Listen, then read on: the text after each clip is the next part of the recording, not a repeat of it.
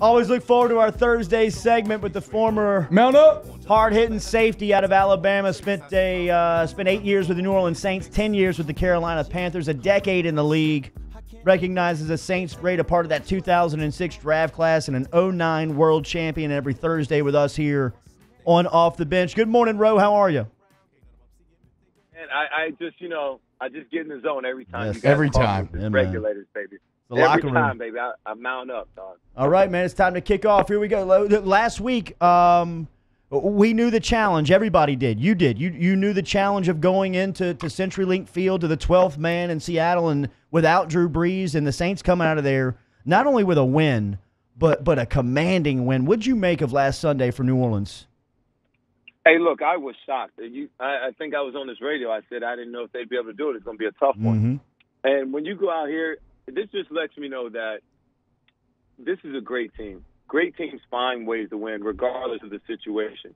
Um, they came out, they played played a tough defense. They had a couple that fourth and one stop where Dennis Allen lost his mind. He didn't even know what So to do. with good. It was so good. It was That was so that was the best thing I saw on Sunday. I he didn't even know what to do with himself. Yes, so and uh, and you know they had defensive stops. They had a, a couple other ones. They had another one in the red zone. Defensively, they played lights out. The score was closer than what the, than what the game really was uh, because they had that late touchdown late. Uh, but overall, I thought you know Alvin Kamara played big.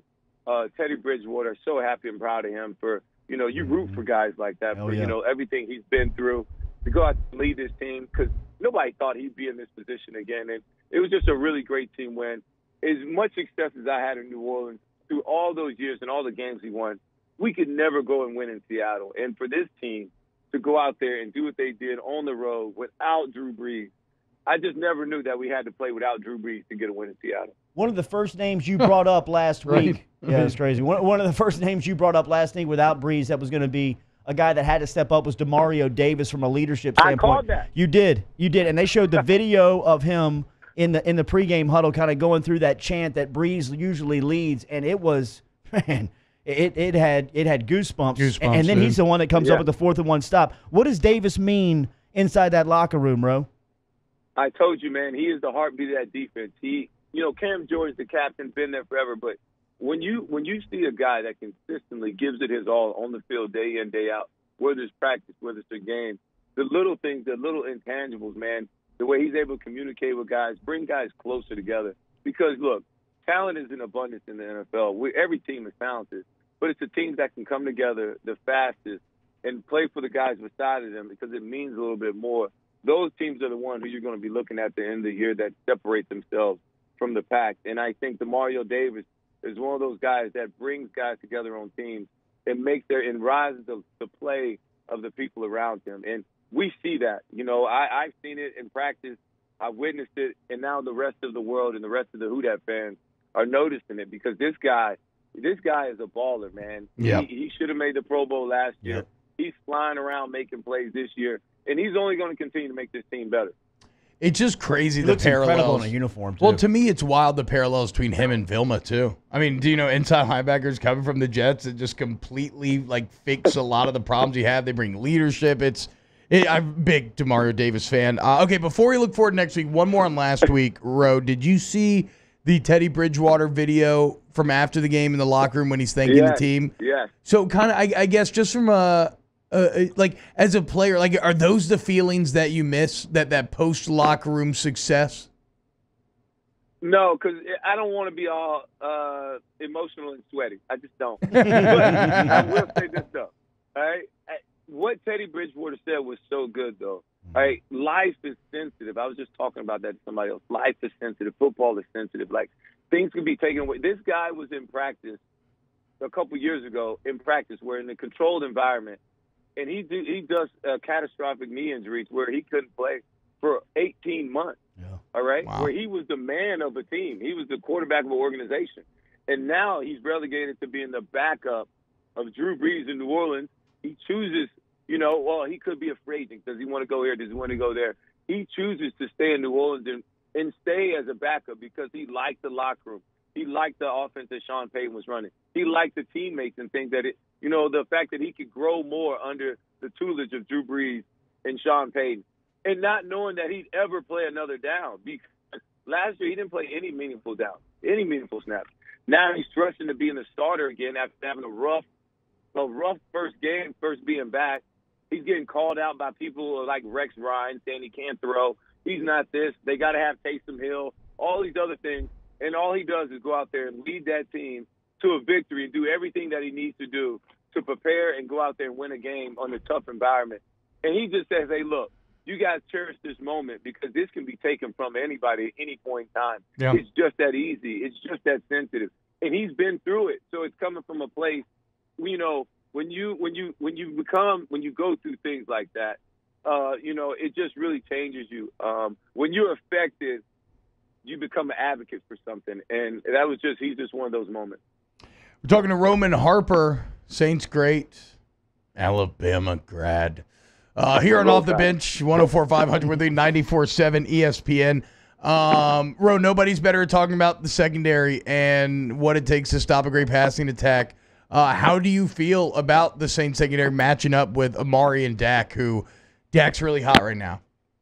Yeah, no, but uh, Randall Cobb has been a huge boost to Yes. the Dallas Yeah, that's a good point. Now, I, I think Randall Cobb, and I and I got to be honest with you, I think the MVP for Dallas Cowboys right now has to be Kellen Moore, the offensive coordinator. I mean, he's he's made this offense so much more rel- relevant, relative.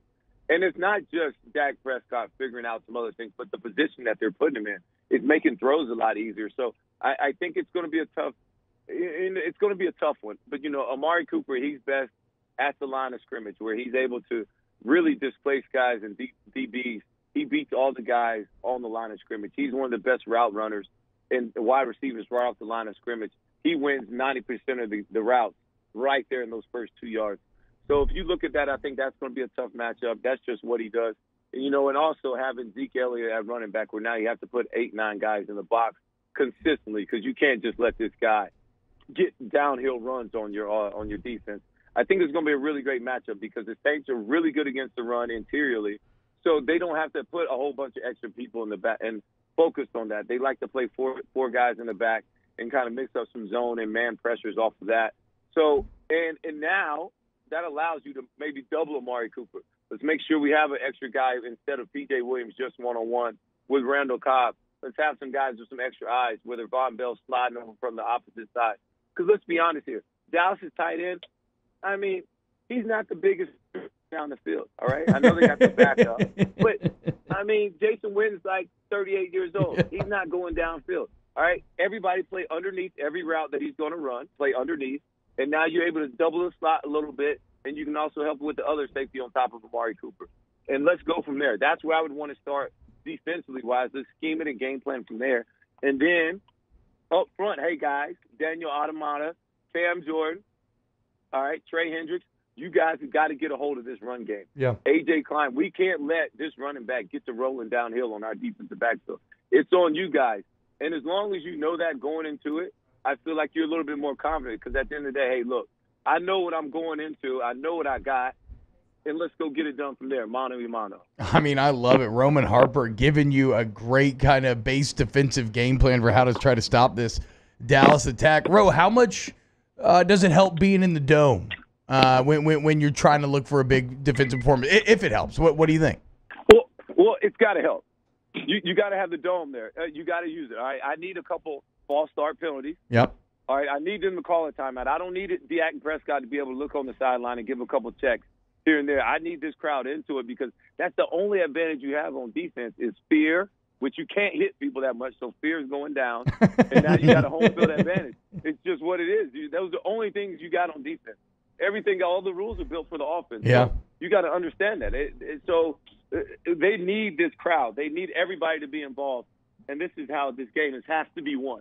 I think Sean Payton does an amazing job. He's the best coach I ever was. We're going through the game. We're going to know exactly how we're going to win this game, and I'm sure he's going to talk about that. Hey, we got to be great on third down. We got to force this team, you know, to to you know to have three and outs. You got to have the opportunity to get, you know. um Sorry, I just walked in the house and saw my dog. I know how that Oh. goes. That goes, Ro. No worries. Yeah, yeah, yeah.